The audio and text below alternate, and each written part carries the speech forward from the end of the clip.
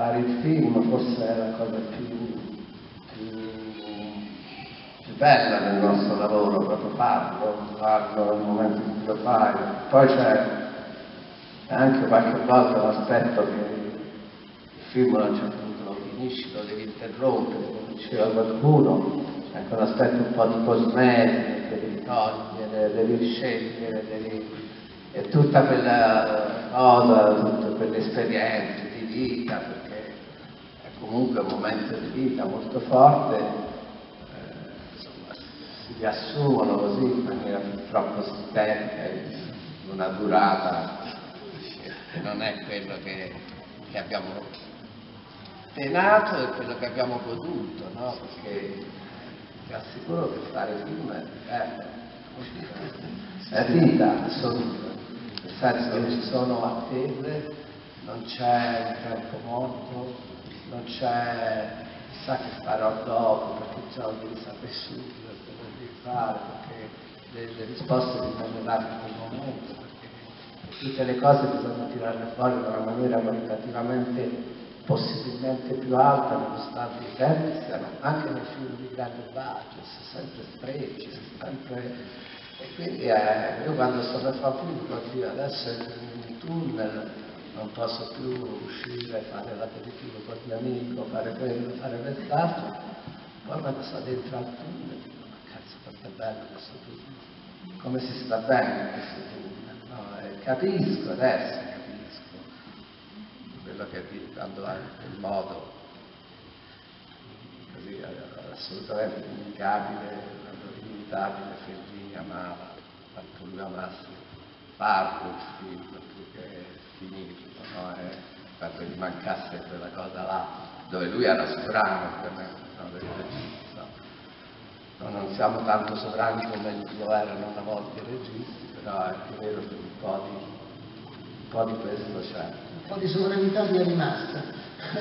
Ma sì, ma adesso sovranità, io appoggio veramente quella frase che ogni giorno delle riprese è il momento della nostra vita. No? Penso di allora tagliare un attore, ma come tagliare una location? C'è un grande dolore. eh. A volte forse è giusto, però perché forse la spietatezza di chi lo guarda dall'esterno che non ha vissuto quel momento d'amore. pure una comparsa. Eh sì, sa che una comparsa mi dispiace, ma è vero proprio questa cosa. Però è vero che, è vero che mi- cioè, girare, io ho sempre detto io odio il set, invece ho sempre detto questa cosa. Però non perché più, lui. no, non più, hai ragione, è vero, perché mi rendo conto. lo vedo da fuori. No, il altri non lo odio, personalmente, cioè non riesco a starci dentro. proprio. A me piace quello da 5 minuti e poi di più non ci riesco.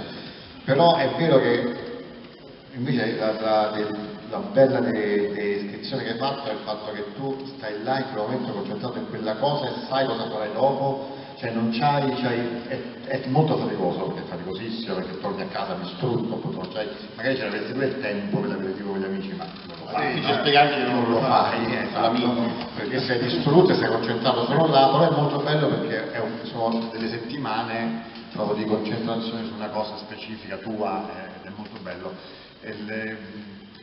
La cosa che voglio dire, perché sennò sembra eh, che è molto faticoso, ma è molto faticoso soprattutto, cioè, se non lo vuoi veramente fare, secondo me non è bello, è fa- è fatica e basta, è chiaro che a noi che ci piace farlo e che troviamo anche soddisfazione poi del, del dopo, no? perché poi c'è la soddisfazione del dopo comunque.